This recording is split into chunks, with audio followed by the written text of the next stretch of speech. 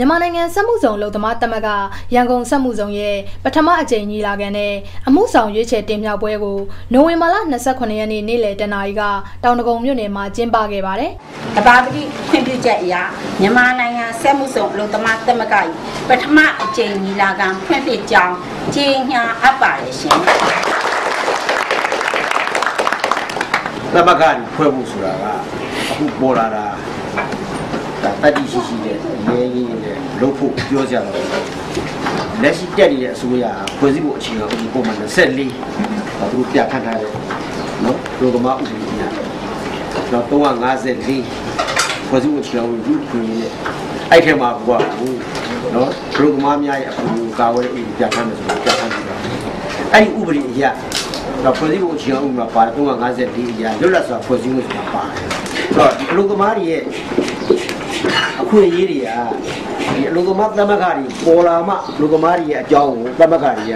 အကောင့်တွေဖော်နိုင်တယ်ခင်ဗျားတို့အခက်အခဲတွေကိုကျွန်တော်တို့ကသိပြီးပြီအခုဒါအောင်ကျွန်တော်ပြောချင်တာဒီနေ့ဖွဲ့တဲ့အခါမှာတော့စိတ်ပါဝင်စားစွာဖွဲ့ပါ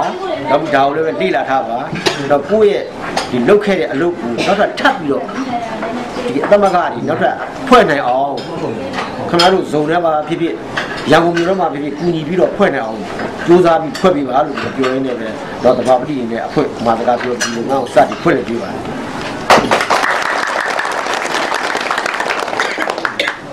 2011အောက်တိုဘာလ12ရက်နေ့မှာပြဋ္ဌာန်းခဲ့တဲ့အလုံသမားအဖွဲ့အစည်းဥပဒေအရတမကကိုဖွဲ့စည်းခဲ့တာဖြစ်ပြီးအဲ့ဒီညီလာခံမှာလုပ်ငန်းမျိုးစားများအလိုက်တမကတွေကအစီရင်ခံစာတွေကိုအသီးသီးတင်သွင်းခဲ့ကြပါတယ်။ လုပ်ငန်းအလိုက်တမကများအစီရင်ခံစာတင်သွင်းခြင်းဖြစ်ပါတယ်။အစီအစဉ်ကအရာပလတ်စတစ်လုပ်ငန်းဆိုင်ရာအလုံသမားတမကအစီရင်ခံတင်သွင်းရဖြစ်ပါတယ်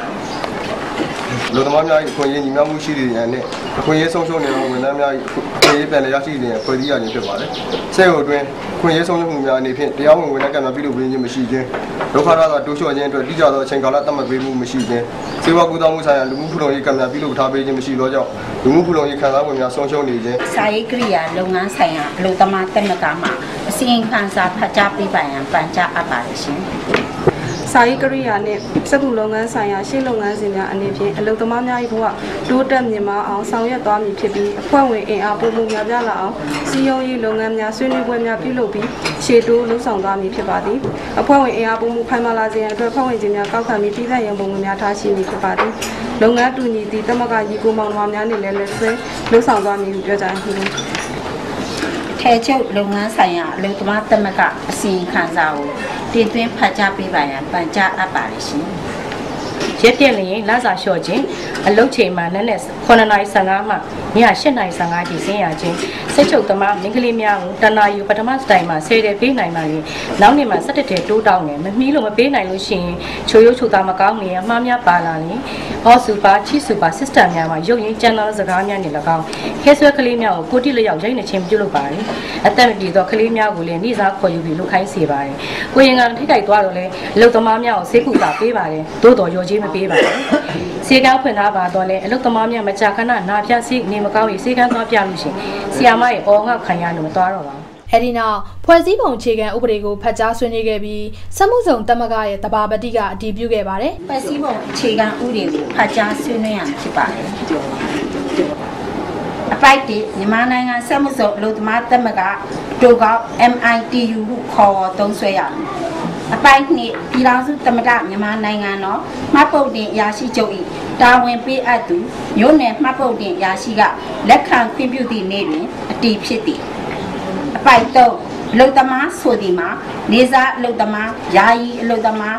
စိုက်ပျိုးရေးအလုတ်သမားအိမ်အခုအလုတ်သမားအစိုးရဝန်ထမ်းအလုတ်တင်အပါအဝင်စီးပွားရေးလုပ်ငန်းတစ်ခုတွင်ဖြစ်စေအသက်မွေးဝင်းကြောင်းအတွက်ဖြစ်စေမိမိလုံအားအပေါ်အားကိုအားထားပြုလောက်ကင်နေသူကိုဆိုလိုတယ်အခုမြန်မာနိုင်ငံစက်မှုဇုံလုံးသမားသမဂ္ဂရဲ့ဖွဲ့စည်းပုံအခြေခံစည်းမျဉ်းနော်အဲ့အခြေခံစည်းမျဉ်းမြန်မာနိုင်ငံစက်မှုဇုံလုံးသမားသမဂ္ဂအတူအောက်က MITU ဆိုပြီး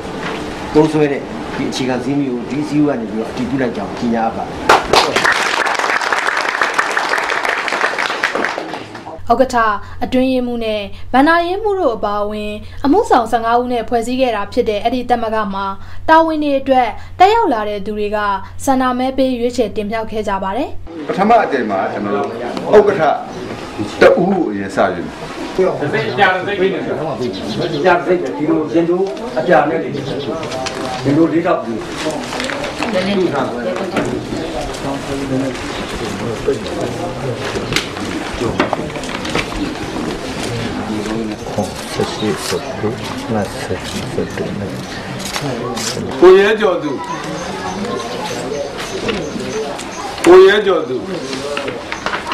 24မဲရတယ်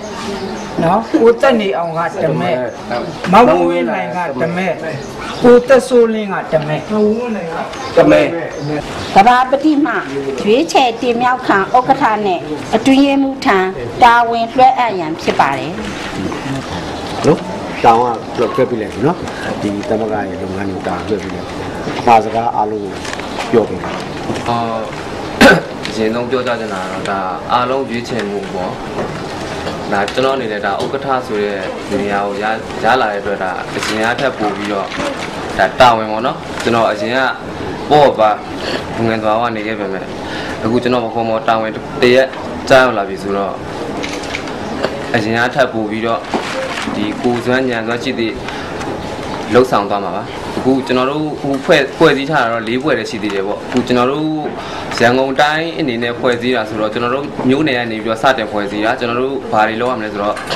ဒီလိုကျွန်တော်တို့မြို့နယ်မှာကျွန်တော်တို့ဒီထက်တမကဖွဲ့ဝင်တွေတူတူပါအောင်ကျွန်တော်တို့နောက်ထပ်ဖွဲ့စည်းမယ်ပြီးတော့ရန်ကုန်တခြားမြို့နယ်တွေစီမှာလှမ်းမယ်အဲ့အမှတစ်ဆင့်မြန်မာတိုင်းနိုင်ငံလုံးစီကိုကျွန်တော်တို့တက်လှမ်းပြီးတော့မြန်မာနိုင်ငံလုံးဆိုင်ရာစက်မှုလုပ်ငန်းလုပ်သမားတမကများဖွဲ့ချုပ်ဆိုပြီးတော့ကျွန်တော်တို့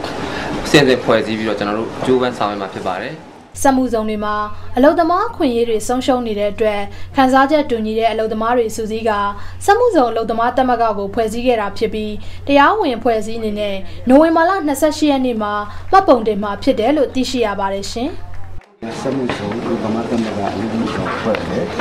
ကျန်သက်စာဖြစ်ချင်နော်လိုက်ဆိုလိုက်ပေါ့